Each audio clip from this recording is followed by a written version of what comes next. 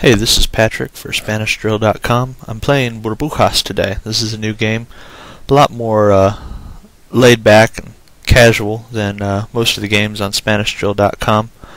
Um, what I'm trying to do here is pair the uh, blue bubbles with the red bubbles uh, using just the mouse pointer. What happens is the blue bubbles are repelled by the pointer and the red bubbles are attracted to it.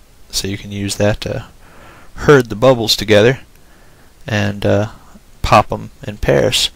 Every time you do that, you get 10 points, uh, but every time one of the bubbles touches the side of the screen, uh, you lose a point.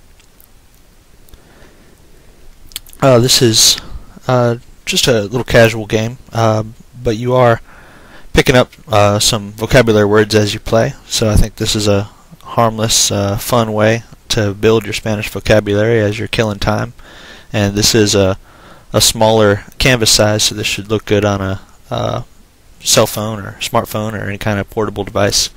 Uh, but have some fun with uh, Burbujas and the other games on SpanishDrill.com.